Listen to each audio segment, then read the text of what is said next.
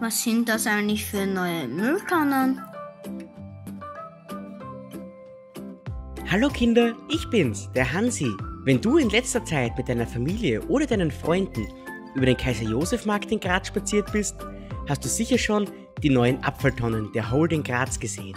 Diese Sammelsysteme für Abfälle heißen Unterflurcontainer und das Besondere an ihnen ist, sie sammeln deinen Abfall unter der Erde.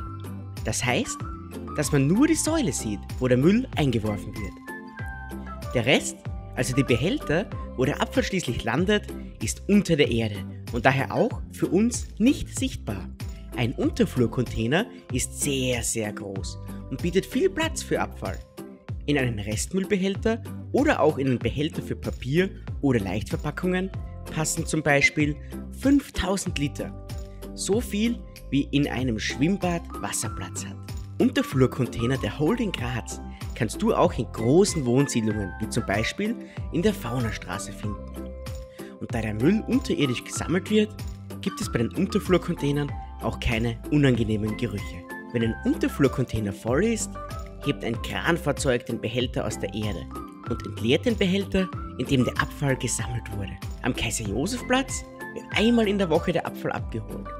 Restmüll, Leichtverpackungen, Altpapier und Glasverpackungen werden dann einzeln herausgehoben und entsorgt.